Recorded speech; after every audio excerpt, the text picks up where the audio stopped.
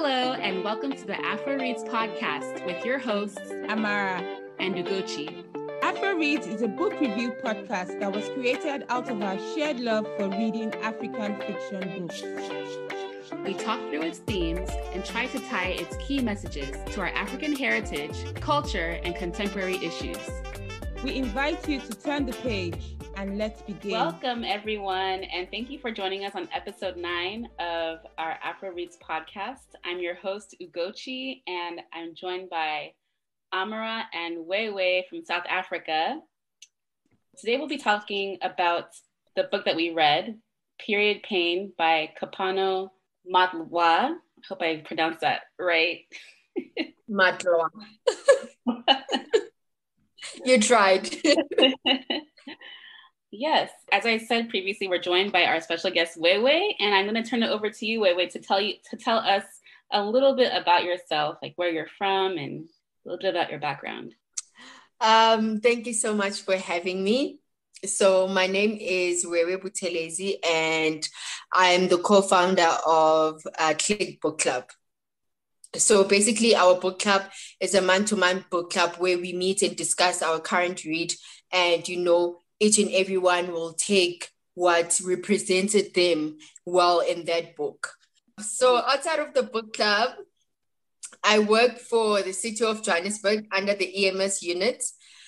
I I am a wine lover. I really love wine.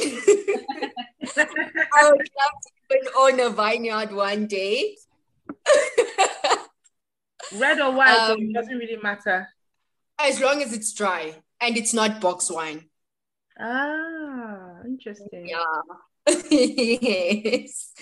and um yeah, I, I I love books. I my my family is the first thing to me, you know, and yeah.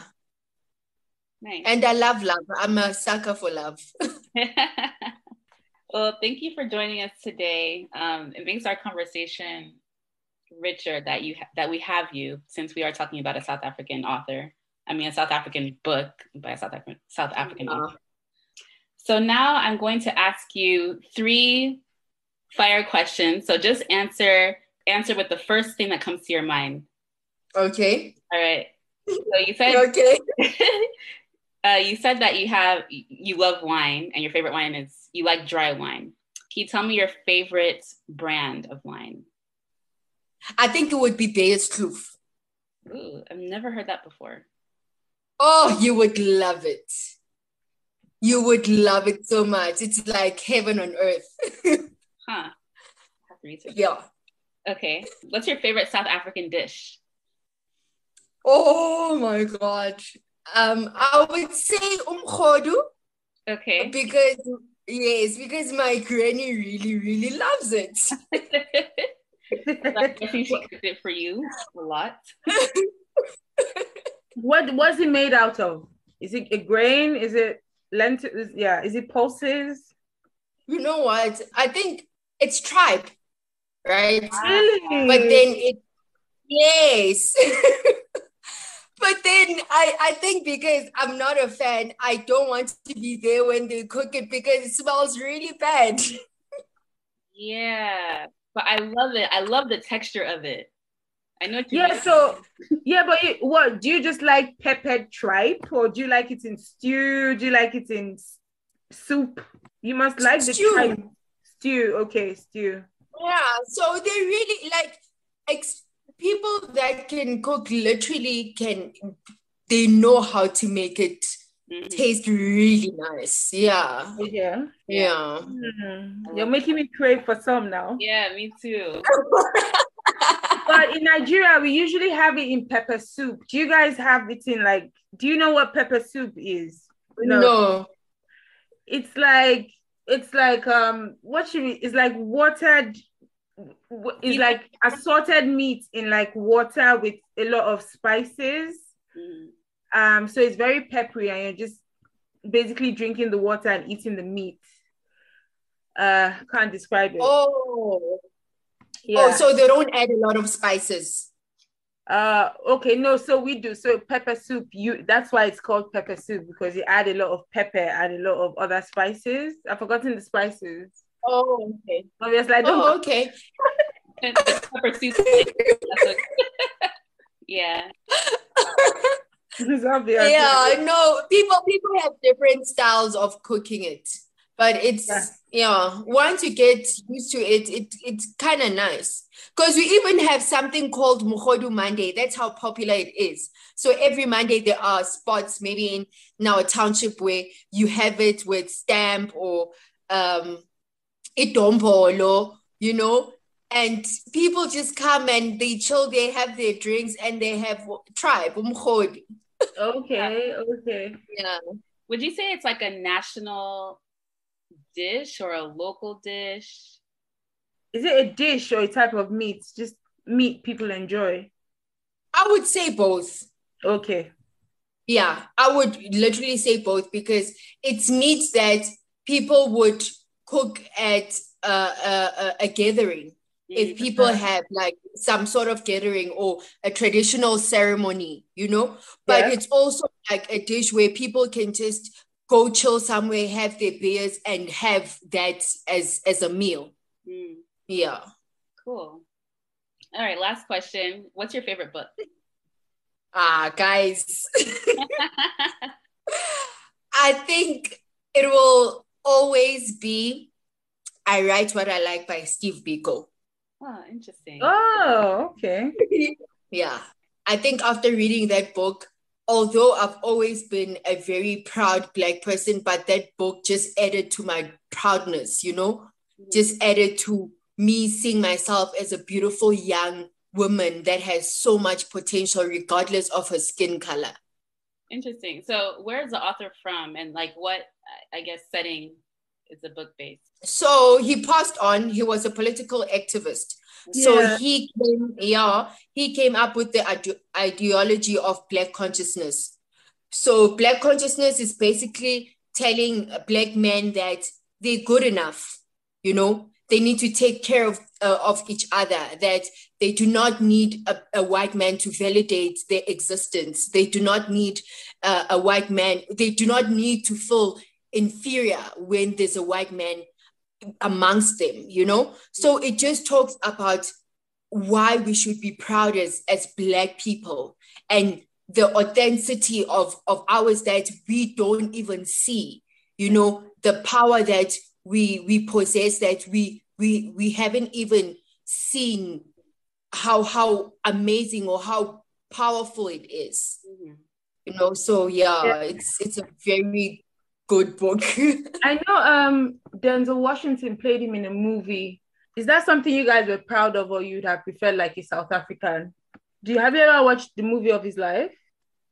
you know what to tell you to tell you the the, the truth and I, I i personally feel like it was wrong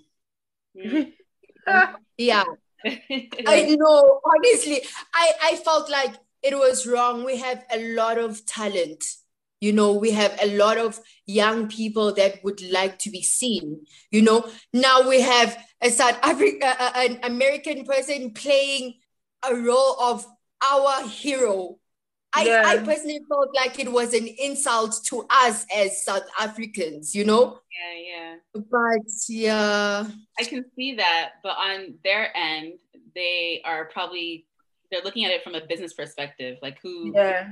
who will watch Denzel Washington on the screen. Would I have Yeah. watched it if if like a South African guy played it, you know? Um it's the way I feel about half of a yellow sun and you know you have Thandie Newton and Anika Rose um Noni Rose play the characters Olanna and Kainene. I'm just like we have a whole movie industry and you couldn't find anyone but I and just like- exactly. Mhm. Yeah, that's my point. yeah, Yeah. yeah.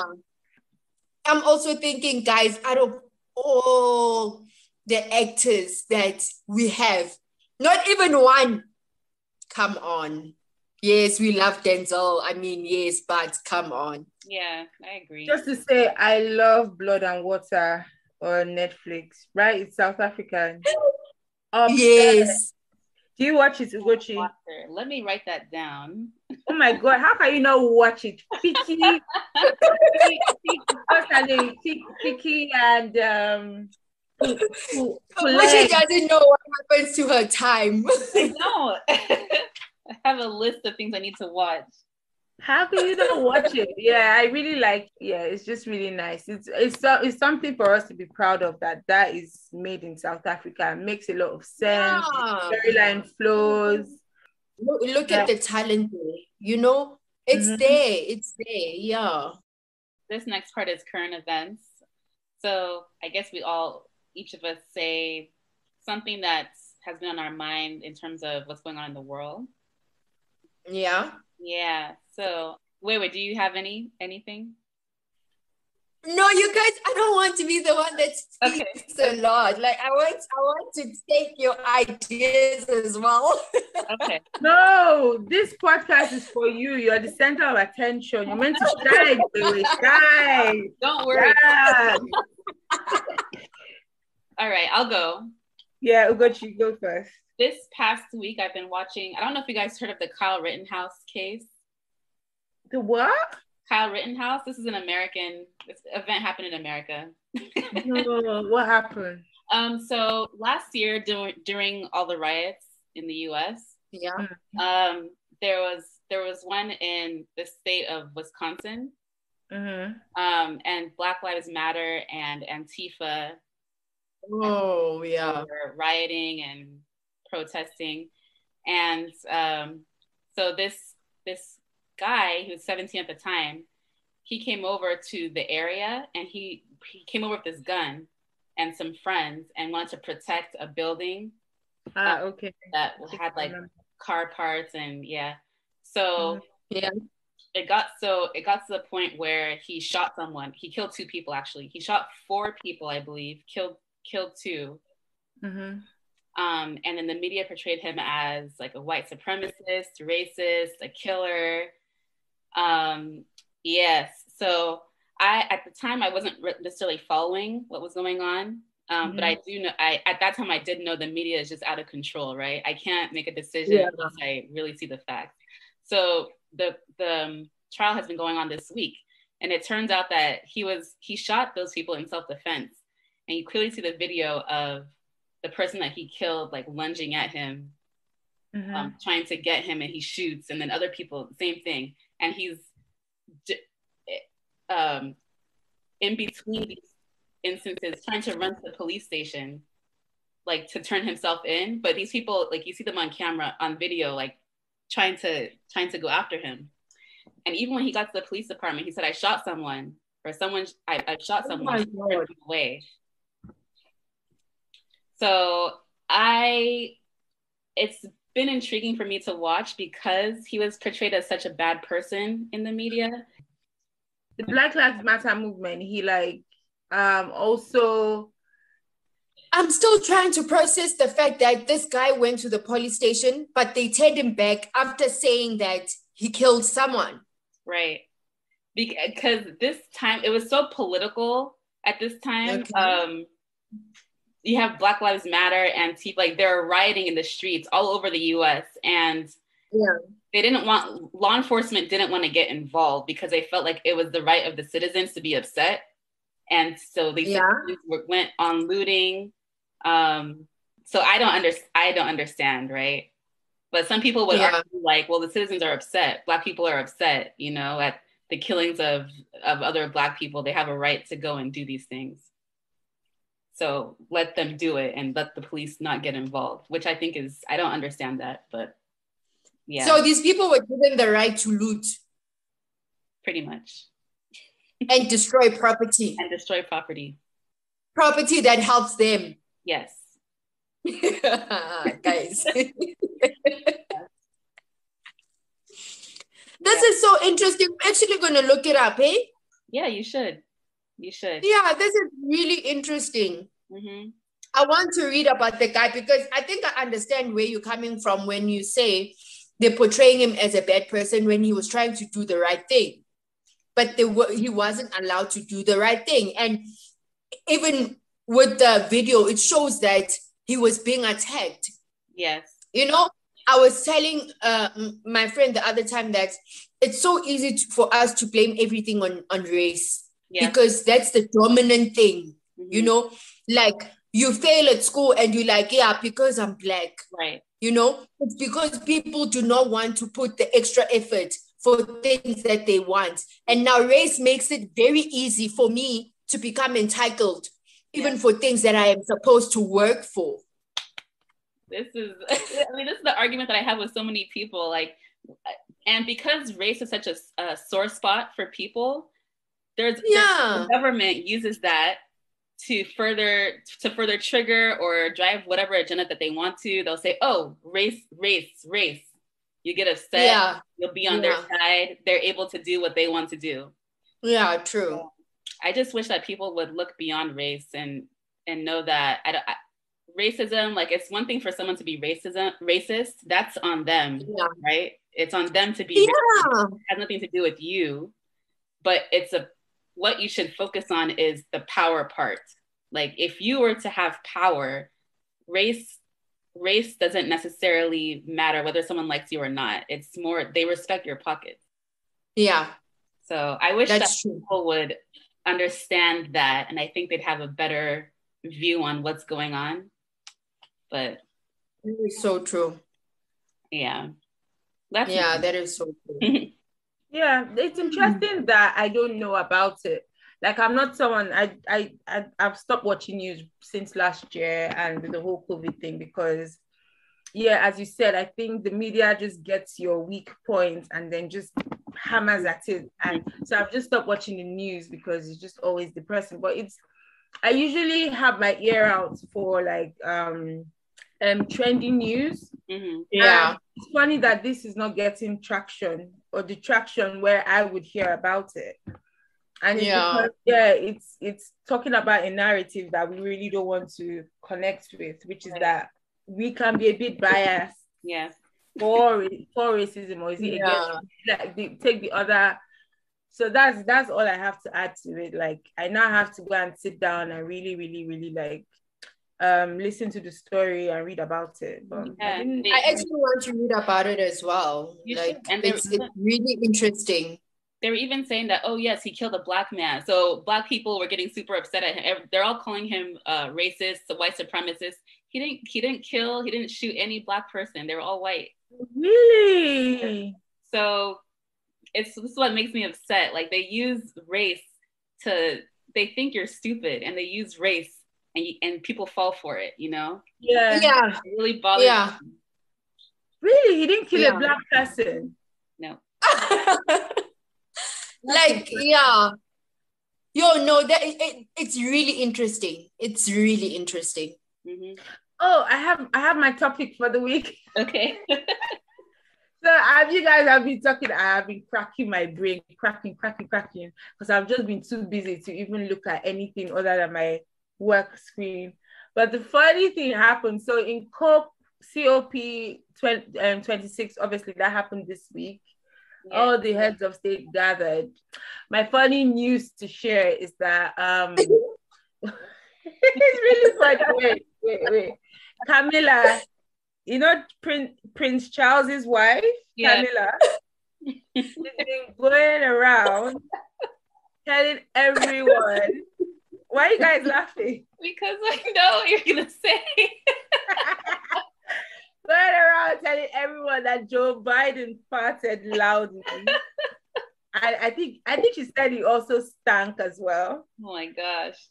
And then since then I've been wondering like of course he's allowed to fart. He's a human being. But at the same time, I'm just like, if I heard or smelled his fart, like would I still regard him in the same way? You know how we regard like heads of states, especially the US heads of state are like gods. Like it's hard to imagine, I don't know, Obama on the toilet seat, you know. like, do you really regard them that same when you smell his fart? So that's my own piece of news that I just thought was hilarious.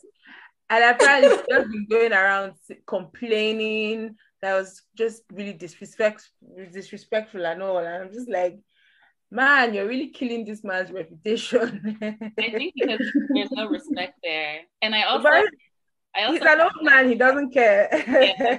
I also heard that he had a bathroom accident. uh, I don't even know what that means. Yeah. So, yeah, I heard that one too before I heard the fart one. Wait, what happened in the bathroom accident? Even if I, I don't want to know, but I well, I heard that. I think he was he was late for a meeting or a picture is mm-hmm. one of the two because he had a bathroom accident. so then if you I'm not so I'm not sure if this is connected with the picture that they all took, but you see him at the way the far mm-hmm. right to his right, right? The mm-hmm. end of the picture. Whereas I guess in previous years, the like the stronger leaders of the world are usually in the middle of these photos. Uh, you, have out, you, have to check out the photo. It's it could have been doctored, you know, media, but maybe he just had food poisoning. Maybe. Oh, is this weird? Record from here. Another another funny situation that happened recently was um, th- there's fuel scarcity in the UK because of the Brexit yeah. situation, lack of lorry drivers from like EU countries. So there was fuel scarcity, basically bringing the fuel to the bringing petrol to the petrol stations and they arrested five Nigerians because they were doing black market. So they were selling petrol out of jerry cans right here in the UK, like in London. That's something we do in Nigeria, but so when we just find situations, we just find opportunity in every situation. Yeah. So, yeah, there yeah. are traffickers and people and pimps, but there are also a lot of doctors, politicians, legend yeah. in South Africa. So we're just too many. They they do find a plan, hey? They they make the most out of everything. make the most, make the most. Yep. Um I think my highlight of so uh, we had our local elections on the 1st of November, and it was just so sad to see the number of young people that did not vote. You know, like young people are angry. Young people do not want to participate anymore. Young people have no knowledge. Young people feel like voting is useless you know? And i think another thing is the fact that we have like a dominant like uh, party the anc i'm sure you guys are aware of yeah. it. Yeah. You know? So people were you know they had their own opinions about how they have betrayed them. They they portray themselves as the party for the people but people have literally lost faith in them you know? And it's just so sad how our our you know our political activists like robert sobukwe uh, uh, steve biko and them it feels like now they died for nothing like absolutely nothing the way the the remaining leaders are are leading the country. So it was just so sad to watch the the outcomes of the uh, uh, the results, the number of people that voted. Like for instance, I'm the I'm literally the only one that voted at home because my brother was like, "No, vote for what? These people are not doing jack shit for us. These people have abused us for so long, and we're just so tired." You know. But is it very manual? So it's is it manual or is there like computerized versions where people like vote with a machine because in Nigeria, like I'm not gonna vote because I'm gonna be under the sun for like five hours. And it's very manual where people like write things with paper and pen and it's just really sad. So is that the same thing? Because that might be the yeah. Okay. Ours is it's manual. But with us, I I I I'd like to think that wasn't the issue. With us, the issue was the fact that people feel betrayed. People feel like there is no service delivery whatsoever. And people feel like they've been like uh, waiting for houses that were promised to them. Be young people have done they, they've furthered their studies up to having a PhD, but people are not working. Yeah. You know, so I, it's just those issues. And I don't know, it just really dawned on me that um, but you know what? I, I, I was saying, you know, the mandate of the, the ANC, ne? It's right. It's the leadership that we need to fight against mm. Because we can't have old people that are taking decisions about our lives when they don't even know our problems. You know, So I just feel like young people need to fight to be in leadership positions. Young people need to fight to have their voices heard, not just in social media, but to actually have the platform to say, these are the issues that young people are facing. And this is what we need to talk about. Yeah. It's what yeah. you're saying resonates with Nigeria so well. Like it's top notch. Like you could just all you need to do is to replace South Africa with Nigeria, and it would still make sense. And obviously, you know, Big Brother is a big thing in Nigeria, and everyone always argues like during Big Brother, we vote in millions, hundreds and millions of votes. Like we come out and we vote. I even vote. But during elections, we just sit down. And it's the same thing. We feel cheated. We feel our voices yeah. being heard.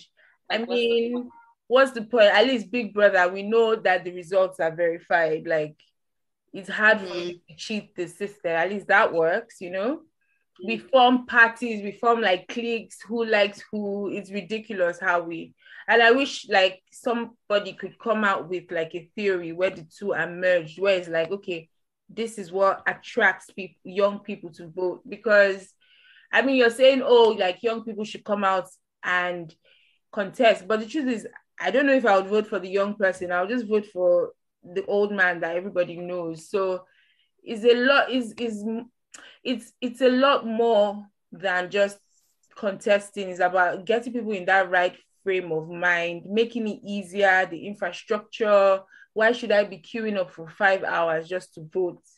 You know, and yeah. you know, you're still afraid that some thug might come and tear open the ballot box or might shoot you dead you know it's just it's a law it's, it's a law and i just always wonder like is democracy really the way forward for africa like if all the time year after year all this time freaking time we're having this say and it's only like 20% of the population is mm-hmm. Mm. Is democracy yeah. really the thing? Is it really, can someone come up with a different political theory for us to practice? I don't know. Well, what if like the government was in charge of basic things, basic. I think maybe the problem is government is in charge of too much. Um, if they're in charge of basic things, then it'd be easier to vote and you hold them accountable. And then you vote for your local. What should be more important is like local mm-hmm. elections. Yes. Because those are, I guess, more of what your values are. And you can be more involved with those.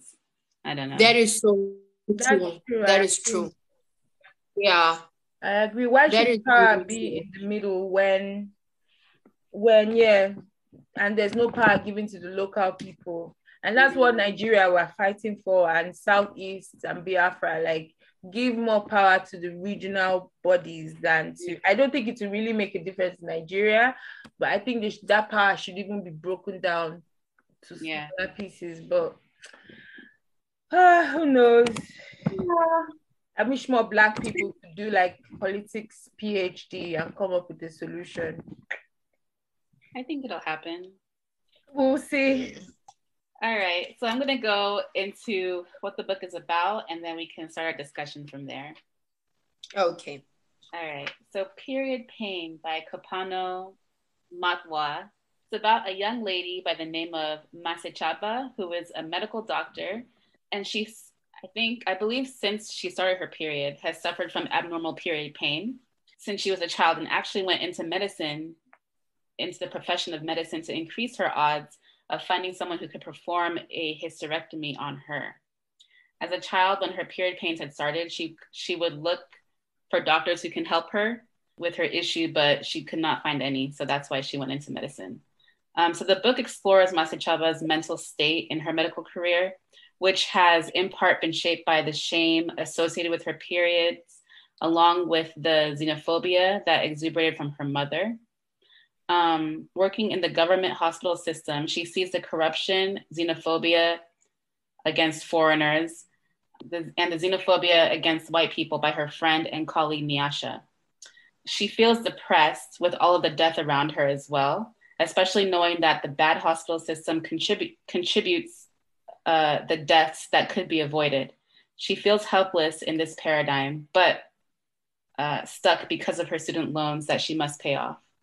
She eventually gets into activism. She creates a pla- petition against xenophobia in the hospital system, which makes a lot of people upset and so upset that she was raped because she continued to bring awareness um, to the issue. She took some time off of work after um, after being raped, raped, which gave her time to reflect about the people in her life who were so hateful uh, towards others. So then we ask the question when we read the book. Uh, it gave her time to think about God as well and why certain things are allowed to happen. If I miss anything, feel free to add. Are you done? Yeah, that's essentially. what? She got pregnant. she did. The hell? Yeah, to be honest, I read the book twice. I just finished the book again yesterday. So she got pregnant and so basically she she named her child the gift because she just thought out of all the misery and all the contemplations of life and everything this was the one gift that came out of it and against all odds even if the child's father was one of her rapists um, she just bonded with the child in the beginning and the book ended with her going for immunizations with the child and just even at that moment trying to protect her and deliberate on the pain she was about to feel. So it was a nice circular end where the book started with her period pains but also the constant flow of blood consistent flow of blood but also ended with blood in the end as well through the immunization um, procedure for the daughter and the pain as well associated with it so um yeah, that was it. Thank you for that. I totally. I was like, okay, she's gonna say it. Uh huh. She's gonna say it. Yeah, she's gonna. Totally forgot. Okay, so let's go into discussion question. Um, okay. Okay, so I'll start with you, Wewe. What is a significant takeaway for you from this book? Okay, so I have different uh, uh, different parts uh, on the book that really like that I can relate to. But holistically, I personally felt like the book was a summary of one's life and the environment that they work and live in, and the type of people that you have in your circle, with the influence as well that they have on you as a person. I actually went tried to go through the book to to to find that text that really resonated with me in regards to Tsiamo's death. And there's a part, uh, okay, there's a part where she states that uh, it's page 21. She says, Of course, I didn't expect, expect a response. I am not crazy, nor was I in denial, but people mourn differently. Um, and I was entitled to mourn whichever way I, I saw fit. The people at Gmail didn't seem to mind. They kept on delivering my emails to Tsiamo, just like they'd always done. Not like Ma or Malume Softly or Gogo and everyone else who would have minded a lot and were nothing like they'd always been. I, I really like that part because I have had to deal with um, the loss of a loved one in my life, you know, and it's so funny how people say with time it goes away. And I feel like with time you just learn to to deal with it. Yeah. So you work around dealing with it, but it never goes away. Mm-hmm. You know, you just let it, you accommodate the loss, you accommodate the pain, you accommodate the the loneliness in your life in a way that is suitable for you and your schedule and you having to go on with your life. But it never goes away. Like the pain it, it doesn't even fade. Like when it comes to you the it it's it's the pain is not measurable. Tomorrow you can't say it was really really hard. The following day it was semi hard and i could go on with it the pain is the same you know? So what really stood out for me, like holistically, is the fact that she was able to deal with Tsiamo's death the, the best way she could. mm-hmm. and she allowed herself to do crazy things as long as they made her feel better and they made her move on with her life and i feel like i respect her so much for that yeah i do too yeah. even though her mom looked down on it right but yeah her to become like this powerful this doctor who fought for mm-hmm. the rights of people who weren't being looked after well. Um, yeah. in in that environment where people didn't want her to pay attention to those people. So that's yeah. so i yeah i respect that about her as well. Yeah. Yeah. And i understand that uh, pain it doesn't go away. So i've also lost no. and you just especially when you go through life and you there's different challenges in your life like you learn to deal with it in a different way like the way mm. that switches but the pain just it, it's just constant. Yeah, yeah you learn different ways. Yeah. Constant yeah. the only the only reason why you feel it's gone away is that unfortunately time moves on time will always move on. Time will move. So at that point it's like oh five years then 10 years. And then you realize oh mobile phones are now out. Oh we now have emails and this person yeah. was over here. And then yeah. slowly that's how it feels like it's fading. But yeah it's it's always like a gaping hole. It's always there. It's always like what this person have done if they were here? How would i have reacted? Imagine if they were here. Imagine if this so yeah the temporary um, amnesia or forgetting the person is just the fact that time moves you along real fast. Um, yeah, yeah, yeah. And and you know, and the fact that her, her life was full of pain, like from the onset of the book, her life was just full of pain. That she it became a norm to her. So she was able to fit it into her schedule, fit it in her her her life as a doctor fitted in her life as a mother. Mm-hmm. Mm-hmm. you know? So yeah. Yeah. I think i just like the way this author just everything you feel it it's so real. It's very raw. Like the emotions and everything you go through. Because i'm sure like a lot of other books they describe mm-hmm. um, like different situations the loss of i was telling ugochi this is the third book we've read this year that describes sibling death Mm-hmm. Yeah. This one makes it very real, obviously in a different context, but the whole book, like as small as it is, everything you feel it as the author is going through it, you feel it. And that's the that is so about true. this book. Like um yeah, small written, not, not much in terms of plots, but like the story itself, everything is raw, you feel it. Yeah. Yeah. I think what I took away from this book, one of the things is the idea of what a hero is. Mm-hmm. Um, she says that I don't have the exact quote, but most are broken and tired people. And she, when she set out to do what she's what she's doing in her career, she says, "I don't know how I expected to feel doing good." So the idea of a hero, like they in in trying to save other people it's emotionally draining physically mm. draining. It's a really tough job. And does do does one actually want to go into into doing that since it's so tough you know? So yeah um it had me question the idea of a hero mm. um who we look up to and what they what they actually do like what they've been through for you know is it is it easy to be a hero? Yeah that's what i took away from that's one of the things that i that stands out for me in this book. Yeah. Ask this question. The main character masechaba was raped and blamed for it for the most part um, in present day south africa is there support given to people like masechaba to prevent rape and to deal with the trauma it may produce? There is. there is. You know we we have a lot of like organizations that deal with that.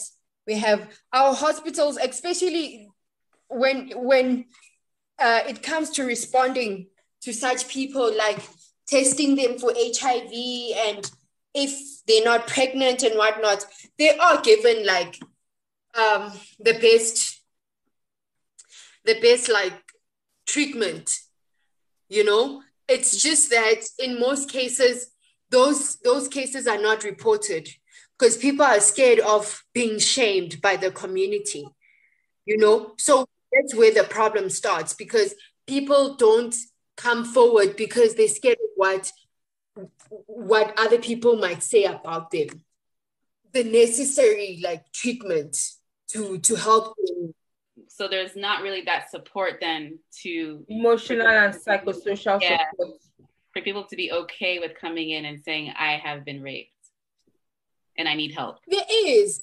There is. Because we have obviously there are certain people that might feel like okay i don't want them to know based on this and this and that but in in most cases we even have like uh, counseling where you can even go as an anonymous person. So that person won't even know that you are way from south africa or whatever. You just call that person and that person is available to you 24 7 you know? So honestly it's you know i always say to people that you need to play your part so that others can play your part their part and then you you we, we can all win and all come to a, a solution. But now you can't want everyone to go 100% whereas you're not even trying to meet them halfway. Right. but there are like support facilities for people like that all over the country. Yeah.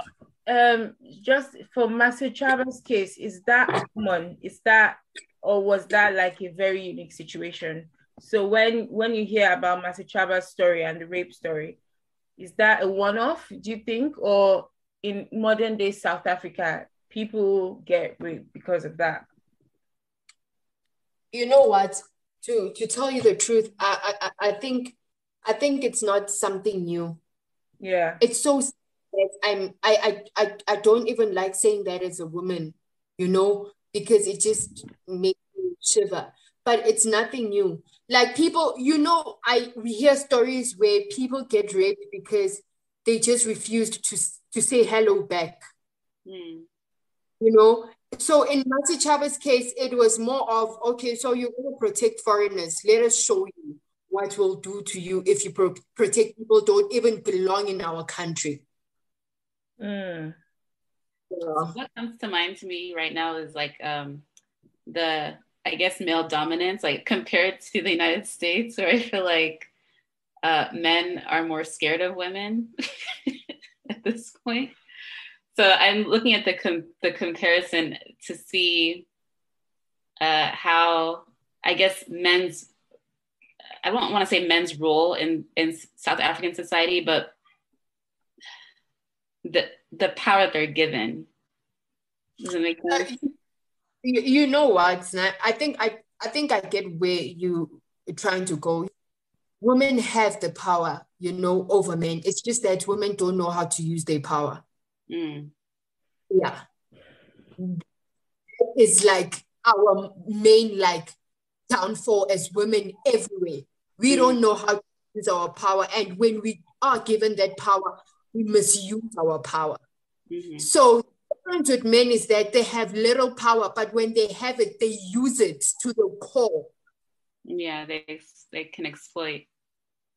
So with here, we we in South Africa, we are dealing with a lot of patriarchy.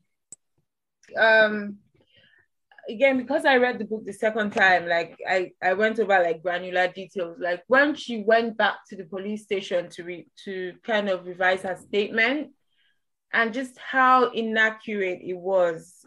Again, it could be from her mindset and everything is relative, and she was just being very sensitive. But um, I think the police officer missed certain details. Um, yeah. You know, yeah. it was just very shady, like, and it's almost like they were complacent or complacent, complacent mm. or complacent or both.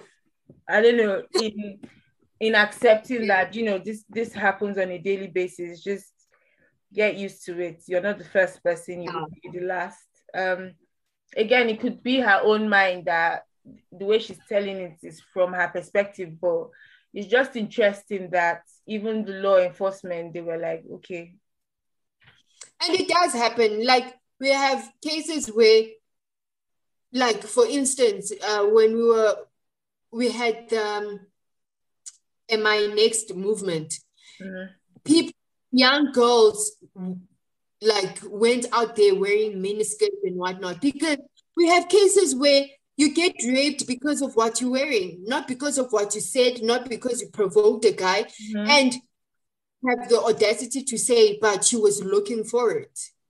Mm-hmm. You know, we have police officers, especially male police officers, that will say, yeah, but how true is it? Because they get drunk and they sleep with every man that is at the party, you know? So it's it's it's not always accurate and I'm not gonna lie about that. It's not always accurate, but the help is there. The support is there. You just need to go through the right channels to get the support that will be relevant to you and that will be of of of you know that would help you as an individual.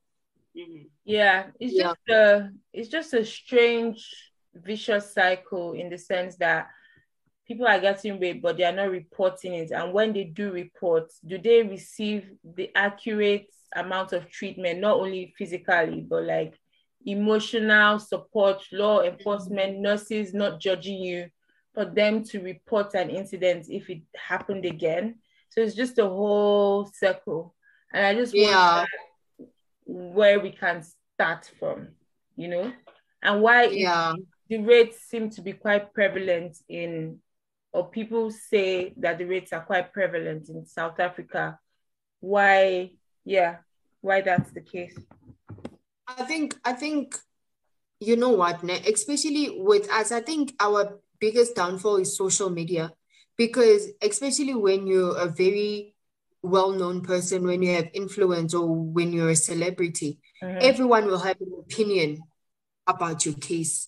Yeah. Like what you just said. Like if it happened and you didn't report it and you had to wait for two months, and then people will ask Guguti, why why did you wait? Like mm-hmm. she's probably seeking for attention or it's a PR stunt or so everyone has their own opinion. Yeah. You know, so I think that's the most difficult part, having to deal with that emotionally. You know, because yeah. I, I personally feel like there's just so much a, a, a, psychologist or a therapist can do in that sense, especially if you you you popular, because it will always be there on social media. Even when you find, you will find it there. You know, someone from the UK is like, yeah, but she deserved it. I used to go to parties with her. I used to see her, and she was always dressed like a hoe. You yeah. you know what I mean? So it really does differ. Mm.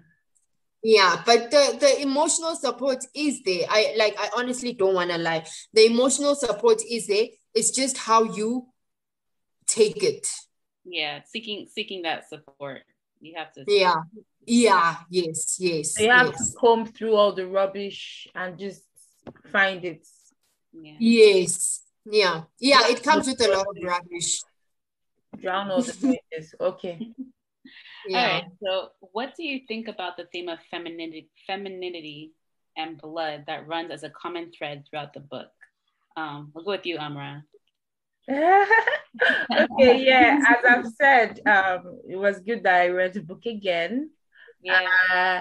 And like the blood theme, um, the circle of life, starting with the period pain and then ending with that. I think what stood out for me was the part where she was like, I'm a doctor, I'm this, I'm this, but that all that doesn't matter because I have a vagina. And to me, it's just crazy again, because we live in a patriarchal world, how at the end you're that's what you're reduced to. Even if you're like President, um, what's that her name? Sirleaf Johnson, or like your Hillary Clinton, your Michelle Obama you have a vagina, you can still be overpowered and raped. And that's just the fact of life. So that was just um, really interesting to me. And then, so I think the author did a really good job of, of course, bringing that out that this is the kind of world we live in, that we are still reduced mm-hmm. to this. And the lot of other gibberish that comes with it, the, the, the fact we have to go through periods and um, periods that could be painful or could be um could last a long time till you need a hysterectomy or whatever and um, so that ran throughout. And then you have to watch your appearance, make sure that you have pads and everything so that you're not stained. So just again, you have to be careful about your image, and then that affects your social circle and and it's just like this is all happening to one gender. Like, where are guys in all this, please? and you have to deal with that, and then that chooses your profession, how you interact, and blah blah blah. And then you now go through that crisis where something awful like a sexual assault happens to you. In the middle of that, um, and then eventually, like you now have to go through the painful um process of trying to recover from that sexual assault. Then you that she's she's i'm surprised she didn't get like an std then she went through pregnancy. So it's just that flow.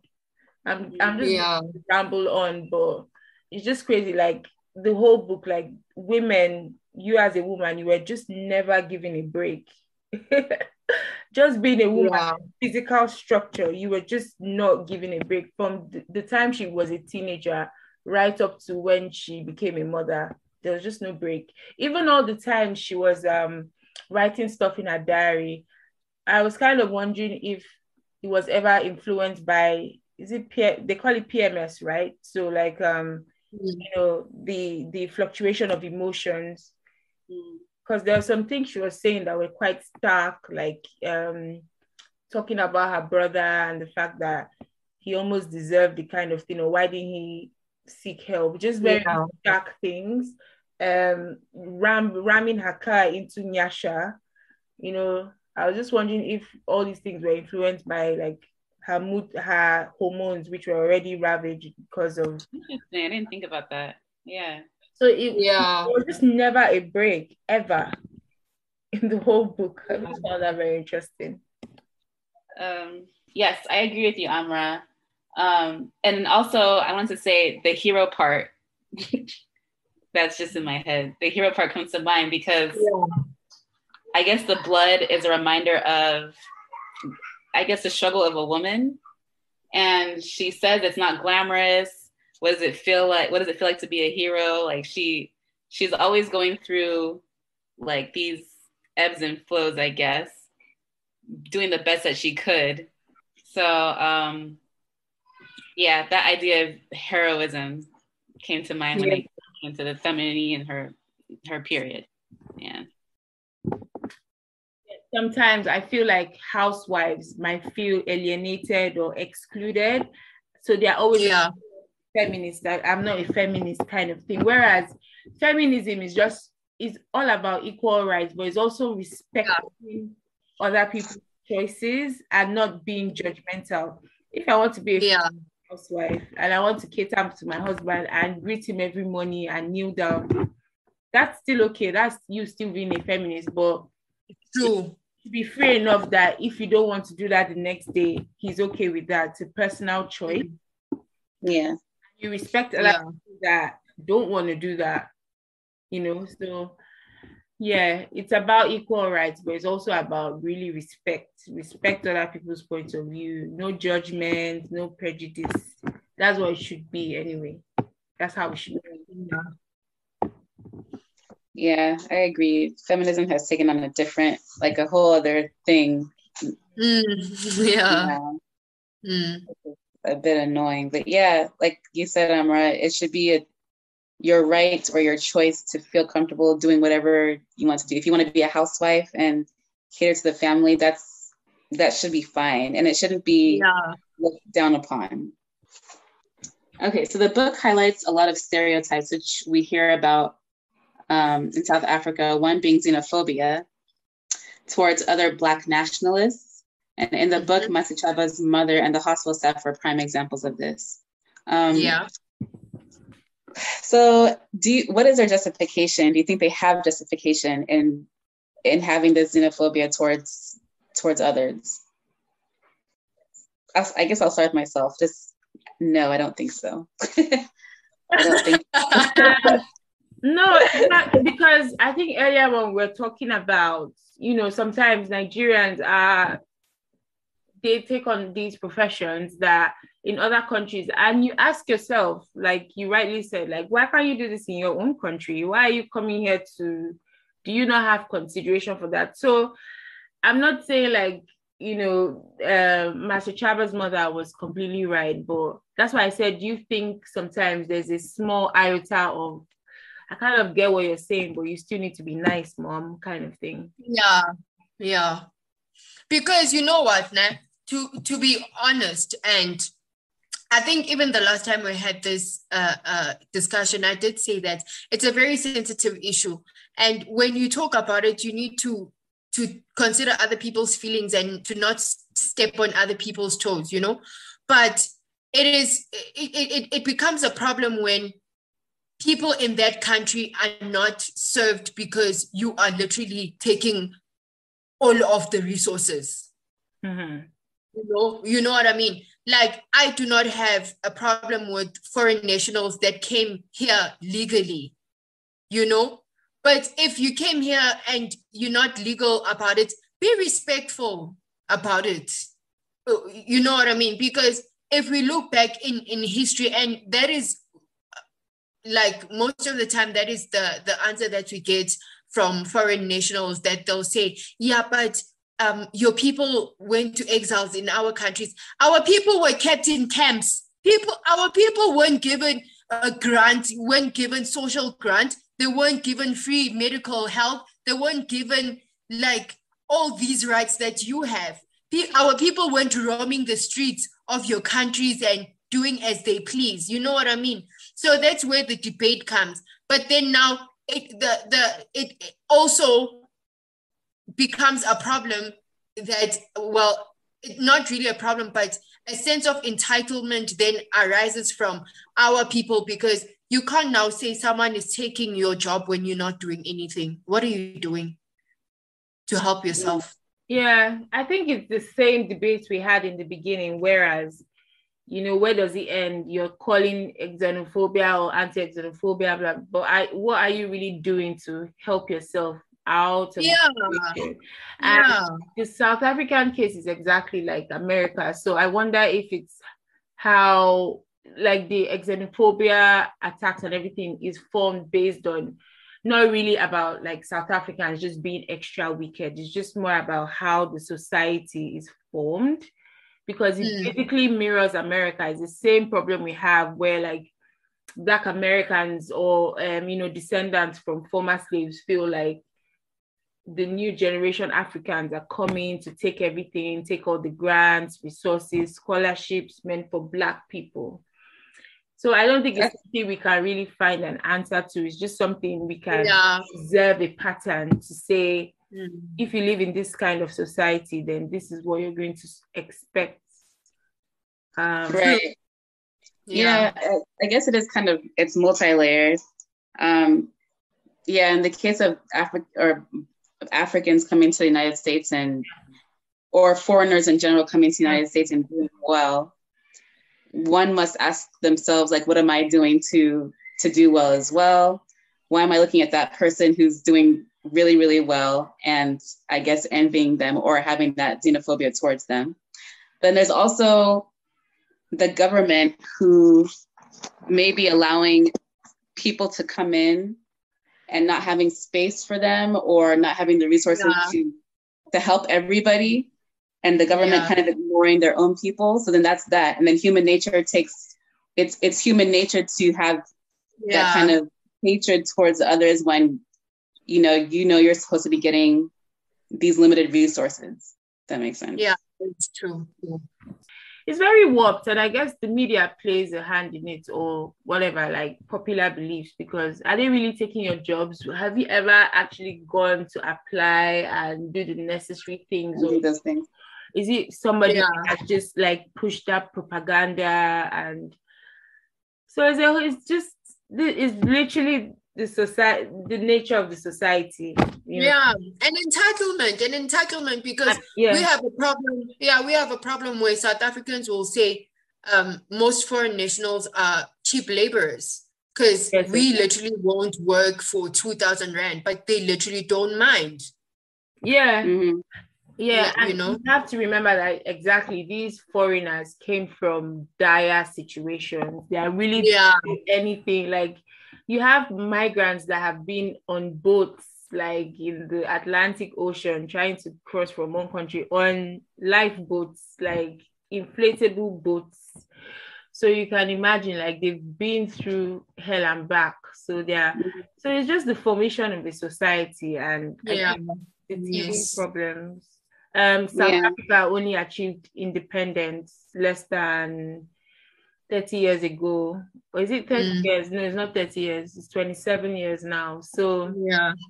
as I said in the last in our last meeting, like the people that that fought the AN the early ANC people, they are still very much alive. So I think they are seeing these things and they're like, where were you when we were fighting? You know, you were in your country enjoying. So they are still very much alive. So I guess it's the hope that as the new generation comes up, um, Yeah. lines are a, little, a bit more blurred and everyone is softer on everyone else. But yeah. Yeah. It's also Yeah. important when foreigners or when people move to different countries to also respect the culture of that country you're moving into. Yes, definitely. That's also Definitely. really important. Yeah. Yeah. So a lot of times that doesn't happen, and that also drives people Triggers. uh, to have feel a certain way. yeah. Okay. Um, as it stands, and given that the end of apartheid is still quite fresh in the majority of the population's mind, how do the white and black races view each other and interact? Wait. You know what, ne? I think we've we've we've we've reached um we've reached a point where we tolerate each other. You know, when you know you're supposed to work with someone and you just want to, in fact, I think a good word to use is we coexisting. That's a bit sad, but as I said, you guys have only achieved apartheid. So you're watching like a neighbor who used to maybe didn't shop where you used to shop, or you go to the same schools and now you do it. So it's still fresh in Yeah, it, it is fresh. And you know what's funny is that white people think black people can't be racist or they aren't allowed to be racist. It's like, what are you being racist about? You know? And I feel like we can, we just probably choose not to be.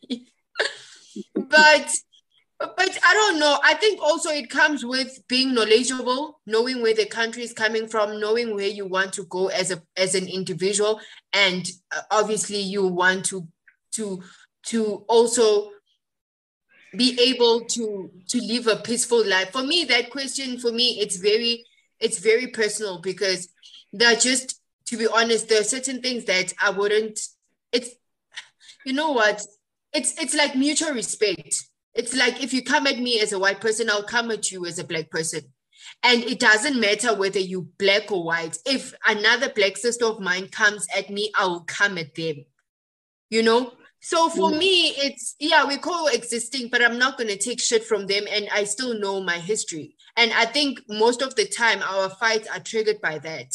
That Mm. hey, this is not the apartheid era anymore, you know? So yeah. Yeah. It's interesting. that's very honest, but very sad. Yeah. Um yeah, I don't know what to say after that. so there's so there's no meshing really like i mean i'm just imagining that white people have their own friends and black people have their own friends and white people and black people don't really mix is that No, they do mix, but there's always that thing that I remember there was um some gossip or what, but it has always been a thing that when black people make it, black men make it, they marry white men, white women.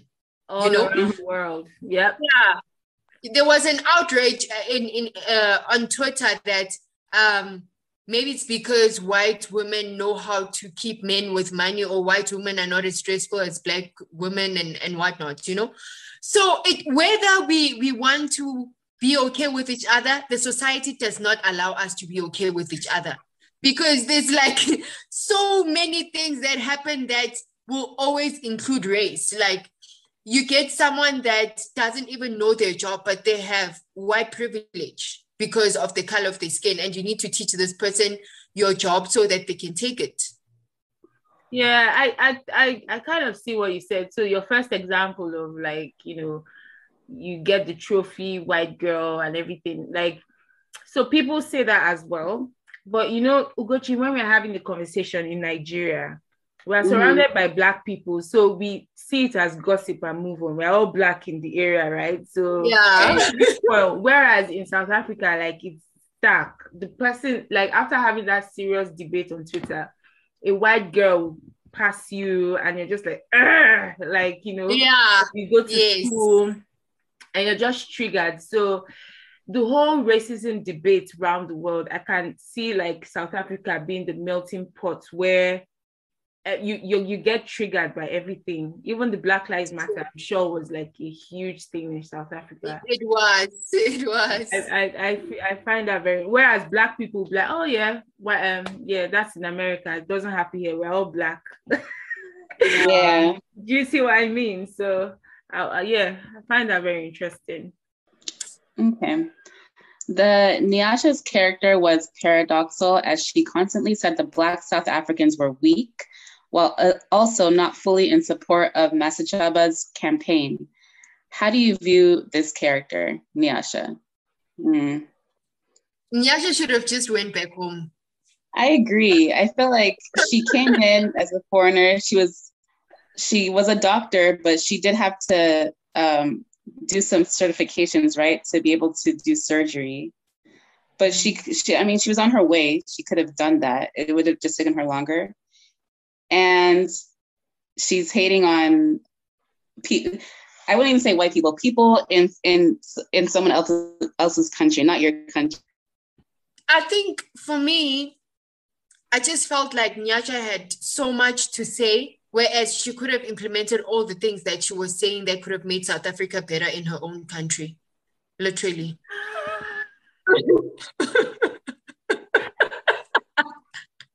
good point. Good point. Good point. Um, you know, like, yeah.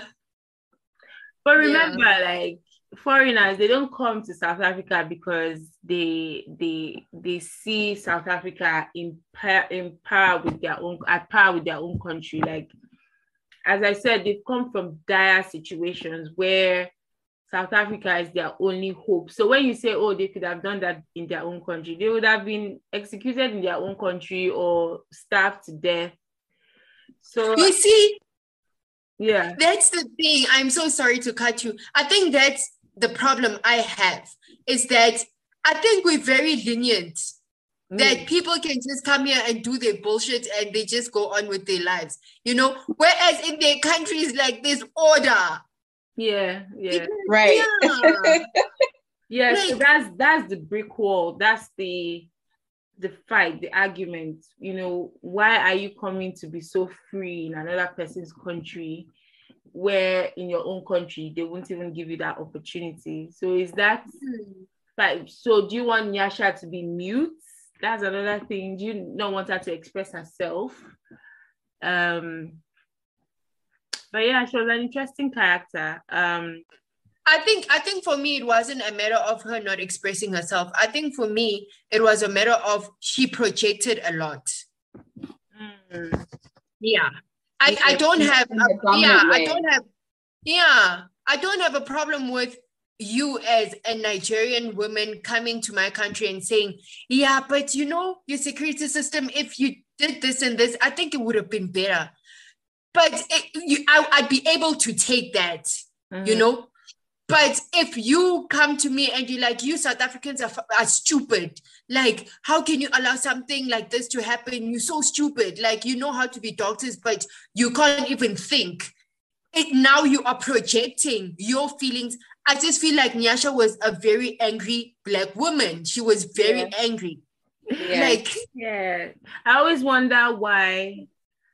I, I find it paradoxical, the, her relationship with Mashaba, because like Mashaba, is that that and I do this as well. Like if I really like somebody, I chase you, man or woman, like I chase you and make you my friend.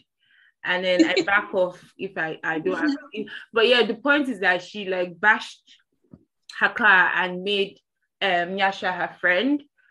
So she was obsessed with her, obviously. And then Yeah. at the end, she was just, yeah, she almost stabbed her. That's why she w- had to be admitted to a psych um, program. But she almost, and even if you say she was going through a psychotic break, like at the end of the day, Nyasha must have really grated on her for her to have brought out a knife to almost stab her because your true feelings tend to come out in those situations. That's number one. And number two, Mhm. she didn't bother inviting her for, even if she was blaming her mom, she didn't bother inviting her for her baby shower. She didn't call her to apologize.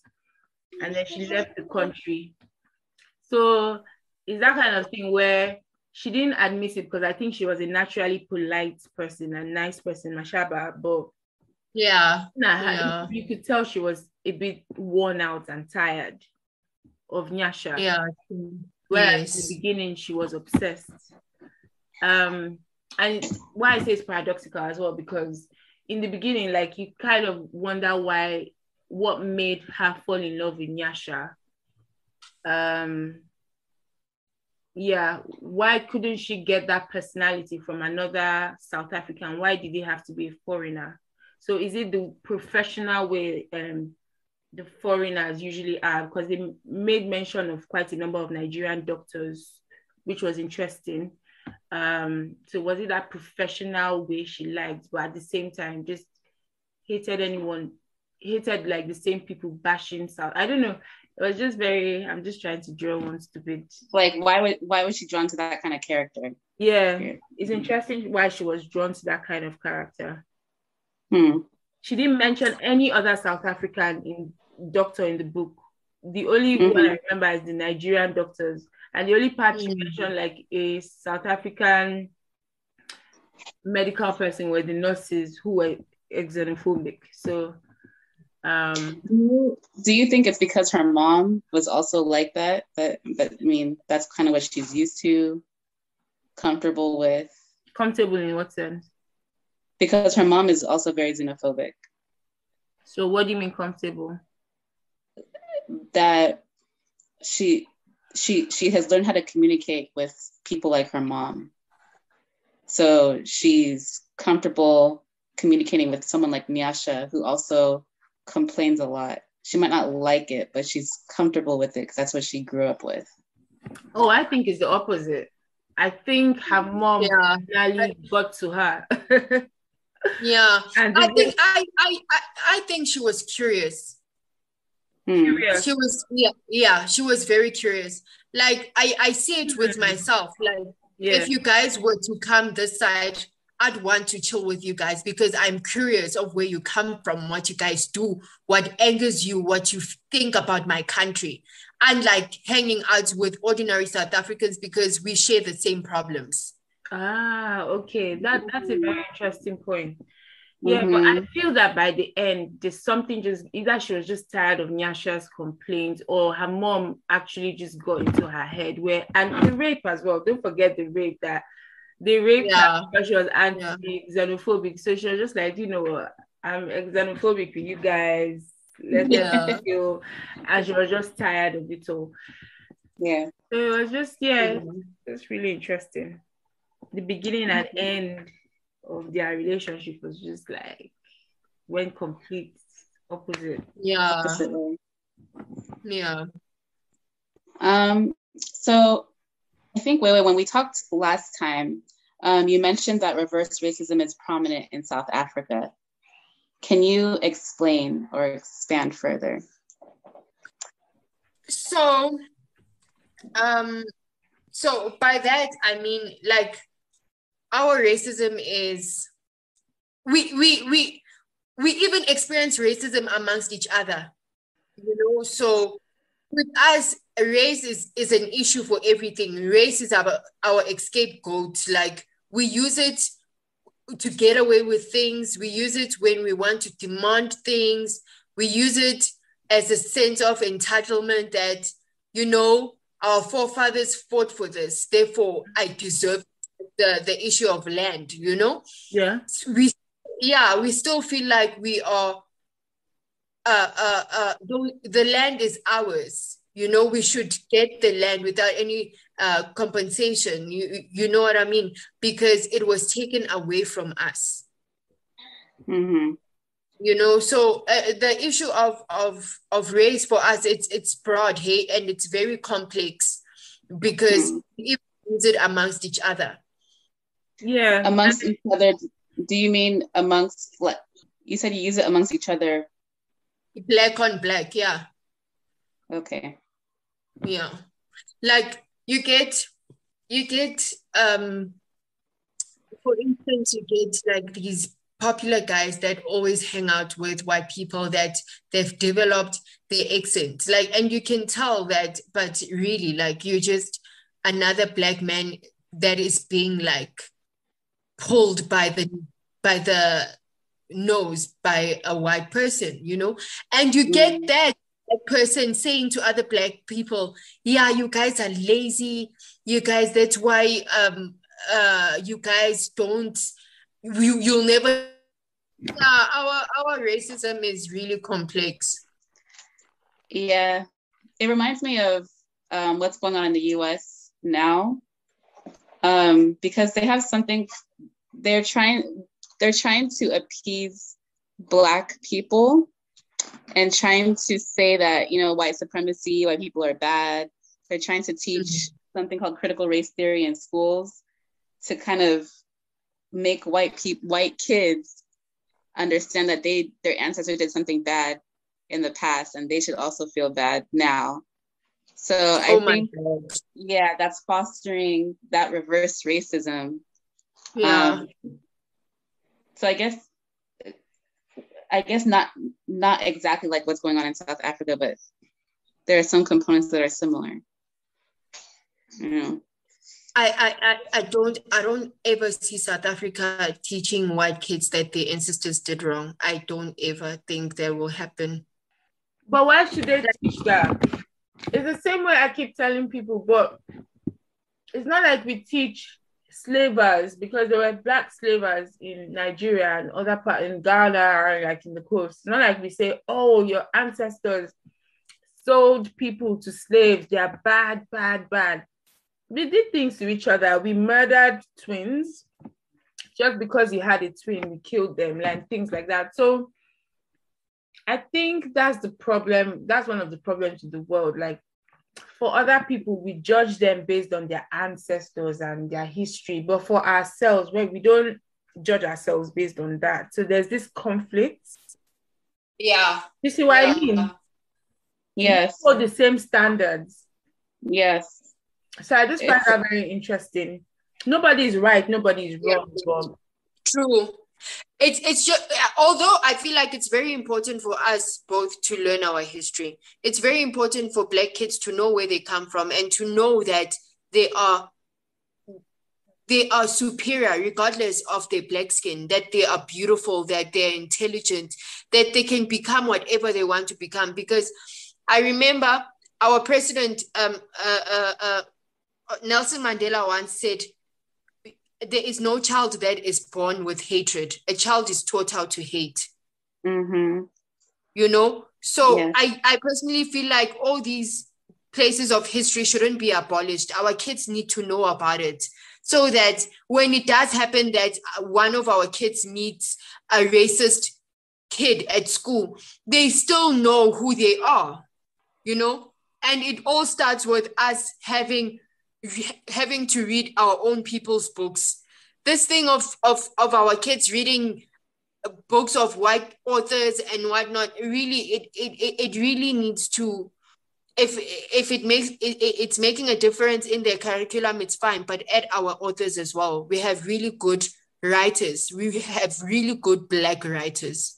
But then that takes us i think to go into schools and say here these are the authors that you may want to look at um, who have True. come from Africa. Yeah, I don't think there's True. enough of us doing that. Because I had a conversation yeah. with um, a family member the other day. His, his wife, she's white. She's a teacher, and she said, and her kids are half Nigerian, half white. So she said, yeah, her kids when they do reports about Nigeria, all they talk about is, um, for the most part, corruption. That there's not a lot of books offered in the school that say that teach other things, right? Yeah. And she said it takes people, it takes our people to go in there and do that, but not enough of us are doing that. Yeah, so, that is true. Yeah. So kids don't have any other good thing to say about Nigeria. Right. Yeah, it really takes us to do it. We can't expect we can't expect others to do it for us. Yeah. Okay. Um, let's see. The next question, looking at other parts of the world, such as Liberia, the USA, etc., and how they were created, do you find it ironic when people criticize South Africa? Um, and what is your general general view about human society? So let's go. Let's answer the first one first. Do you think it's ironic when people criticize South Africa? Um, you know what? I I actually wanted to look up that question and just read on it. I, I actually wanted to read about the other countries first and not just take what I've seen or what I've heard might not be true. But my general view is that regardless of what the, the standards are, at the end of the day, we all want an, a, a, a, a good economical country, a country that mm-hmm. is able to to generate money and is able to make ends meet by providing the, the service delivery that has been promised to the people. You know what I mean? Mm-hmm. And I, mm-hmm. Africa is trying to do that. It's just that it's not doing it in the right manner, just like mm-hmm. any other country. The US would kill any country that what has to that was to interfere with their economical status. You know, mm-hmm with South Africa is, is that we're very lenient, even on things that we're not supposed to be lenient about. uh, but in regards to the, um, I don't know if I answered the first part correctly. Well, I guess in terms of, um, so like Liberia, you had the return of the slaves from the yeah. US, and that's how Liberia was created. And then those returned slaves began to discriminate against the natives. Oh no, that you know what? The apartheid system ruined a lot of things. Mm-hmm. Like it ruined a lot of things. But I'm just gonna be honest with you. And I think the fact that I I grew up with an older person, I got to listen to the stories of apartheid and I got to be I got to be more um, insightful of what happened compared to what's happening now. The only good thing about apartheid is that there was order. Even though it was implemented wrong, there was order. People used no one would would would say they don't want to go to school anymore. Everyone went to school, everyone used to work. You know, it's just that we didn't have equal opportunities we didn't have the freedom that we have now you know? So you know i i, I can't compare apartheid to anything because it was really a di- disgrace to our people.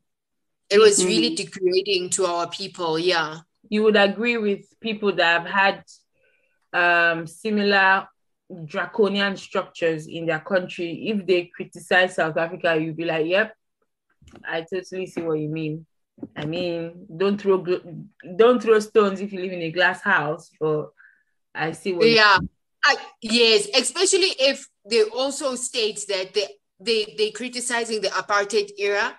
Then yes, I'd say okay.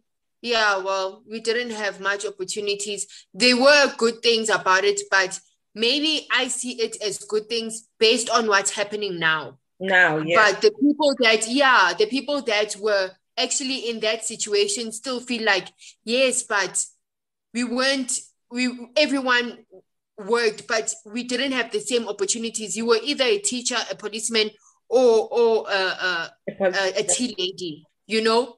So the fact that a young person today is saying yeah but everyone used to work it's it's it's different because now i am able to be a doctor a lawyer a musician and all of these things. I can go to every part of South Africa without being told to to take out my my ID and show that I am a uh, you know there are perks, but I think for a person that is in my age group would compare them based on what she sees now. But for someone that was in that era, it might not be the same view.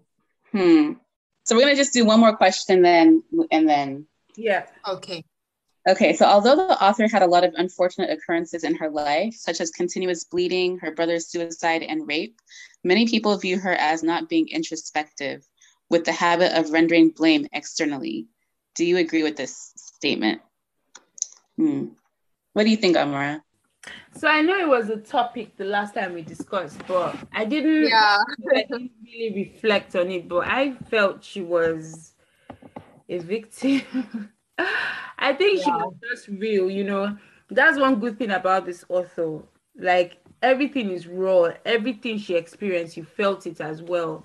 You being a doctor, being so high up there, but every day you're coming to work on shore, you're seeing somebody dying, even in the midst of the dying, you're just like, why didn't the person come sooner? Or this person should die already so that another bed could be. These are real feelings that usually in a book you can just like um kind of wash away or say or maybe summarize it. So i like the fact that so it, it often felt like she was not introspective because i guess but you were really reading her mind. And sometimes things we say in our mind it never makes sense. It's very blamey but it's real. So i really just like the fact that everything was laid bare. She was not good or bad. Like she she had weaknesses and she also had moments of strength.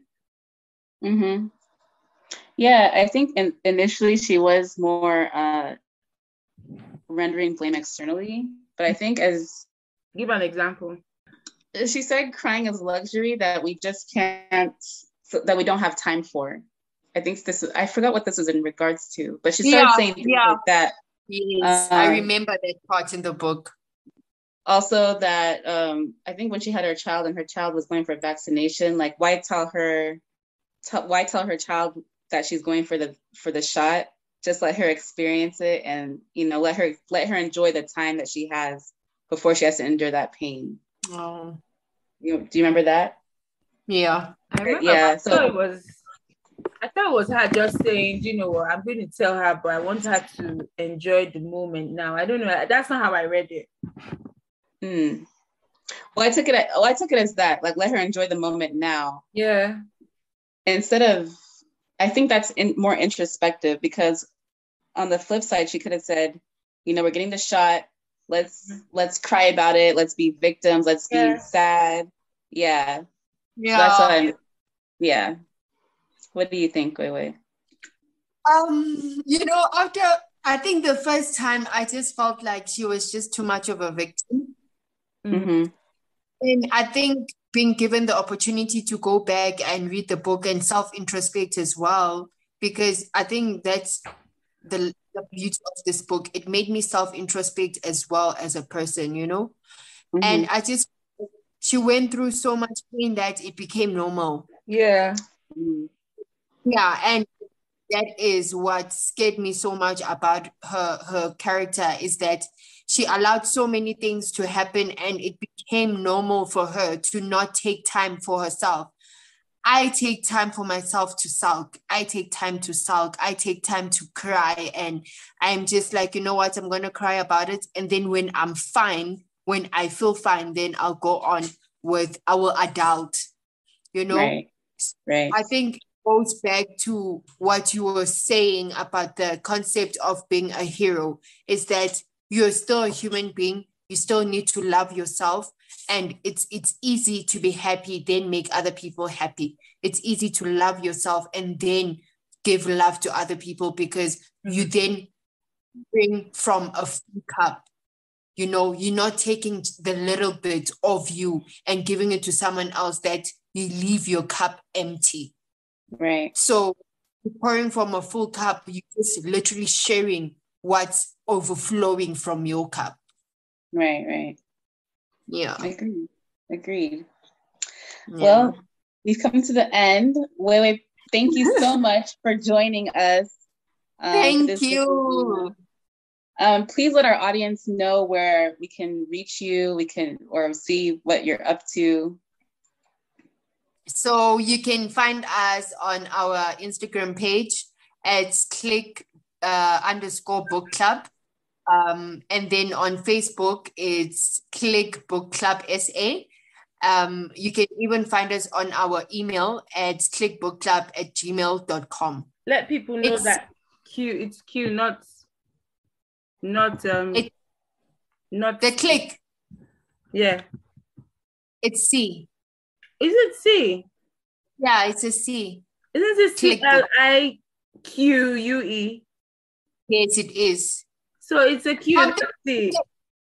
oh yeah, I'm thinking you're talking about the Q in the the beginning. no, of course not. Of course it's probably Q. Yeah, yeah. Yeah, no, it's it's it's a Q. It's a okay. Q. Yeah, thank you so much for having me. I've I really enjoyed this podcast, and hopefully in the future, you guys will give me accommodation when I come that side, or I'll give you guys accommodation if you come this side. yeah, definitely, definitely. Where do you live? You live in Johann. You live close to Johannesburg, right? Yeah, just literally by Mandela uh, House, the same street. I live in Vilakazi Street. Oh, awesome. Okay. Yeah. Well, it's really been a pleasure talking to you. And um, to our lovely audience, no problem. Uh, we appreciate your support in continuing this journey with us. Don't forget to like, share, and subscribe, and follow us on Twitter, Instagram, and Facebook. Um, if you happen to read the book discussed in this podcast, we would love to hear your thoughts, opinions, or questions about it. Please leave a comment on any of our of our social media handles. We will, we will be sharing our interesting content on our social media platforms and have some informative discussions leading up to the next episode. So, up next on the chopping block, we are reading Secret Son by. Do you remember? Leila, Leila Lalami. Yes, Leila Lalami. We are reading Secret Son by Leila Lalami. Um, yeah, going all the way to Morocco. The yes. interesting book. So join us. Mm-hmm. So we're looking forward to you joining us on the next episode. But until then, take care and have a blessed week. Thank you so much, Wewe. Nice to meet you.